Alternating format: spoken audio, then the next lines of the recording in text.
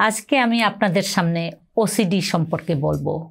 OCD হলে obsessive compulsive disorder obsession মানে হলো গিয়া কোনো কিছু অতিরিক্ত ভাবা কিংবা অতিরিক্ত করা। কম্পালশন হলো গিয়া কোনো কিছু অতিরিক্ত করা। আর ডিসঅর্ডার হলো গিয়া এটা যখন এমন পর্যায়ে যায় যে মানুষের জীবন ব্যাহত করে, তখন এটাকে আমরা ডিসঅর্ডার বলি। অবসেশন হচ্ছে মানুষ এমন কিছু করে বা ভাবে যেটাকে অবসেশন বলে। যেমন তার মনে হতে পারে ওই লোকটা আমার বিরুদ্ধে কিছু করছে কিংবা চিন্তা করতে পারে যে তার ইনফেকশন হয়ে যাবে, যদি হাত বারবার না ধোয় তাহলে তার ইনফেকশন হয়ে যেতে পারে। এই ধরনের চিন্তাকে বলে অবসেশন এই ধরনের অতিরিক্ত চিন্তাকে বলে অবসেশন আর কম্পালশন হবে যখন ভাবে যে তার ইনফেকশন হয়ে যাবে যার মাছে তখন সে হাত ধুবে। একবার অনেক ভালো করে হাত ধুলো, কিন্তু তারপরেও তার মনে হবে যে হাত ধোয়া হয় নাই। সে জানে যে হাত ধোয়া হয়েছে আর অনেক ভালো করে ধুয়েছে তারপরেও তার মনে হবে যে ভালো করে হাত ধোয়া হয় নাই, আবার বাধ্য হবে, আবার হাত ধুতে। এইভাবে করে করে বারবার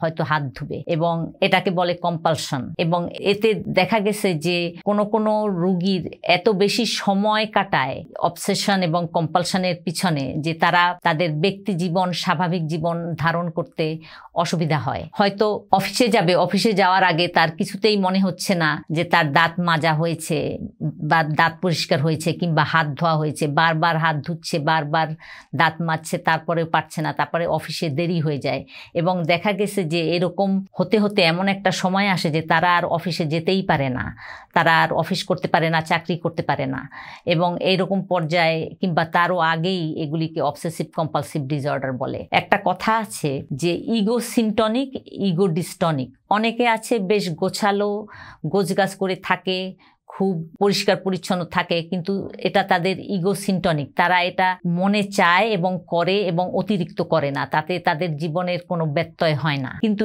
ইগো ডিস্টনিক হলো যখন রুগীটা জানে যে এটা অতিরিক্ত হয়ে যাচ্ছে, কিন্তু কিছুতেই থামাতে পারে না, চিন্তাটাও থামাতে পারে না এবং কম্পালসিভ বিহেভিয়ারও থামাতে পারে না। তখন সেটাকে আমরা অবসেসিভ কম্পালসিভ ডিসঅর্ডার বলি এবং এই অবসেসিভ কম্পালসিভ ডিসঅর্ডারের ট্রিটমেন্ট হচ্ছে মেডিসিন মেইনলি এবং থেরাপিও দরকার। অবসেসিভ কম্পালসিভ ডিসঅর্ডার শুধু ওষুধে ভালো হয় না, এদের দেখা গেছে যে এদের কগনেটিভ বিহেভিয়ারাল থেরাপিও দরকার, যাতে করে অবসেশন এবং কম্পালসিভ বিহেভিয়ার তারা মোর কন্ট্রোল করতে পারে এবং এই কারণে অবসেসিভ কম্পালসিভ ডিসঅর্ডার যাদের আছে, তারা যাতে চিকিৎসার খোঁজ নেয় এবং দুটো পদ্ধতি যাতে বেছে নেয়, তাহলেই তাদের সিমটম রিলিফ হবে এবং তারা আবার অনেকটা নর্মাল জীবনে ফিরে আসতে পারবে। ধন্যবাদ।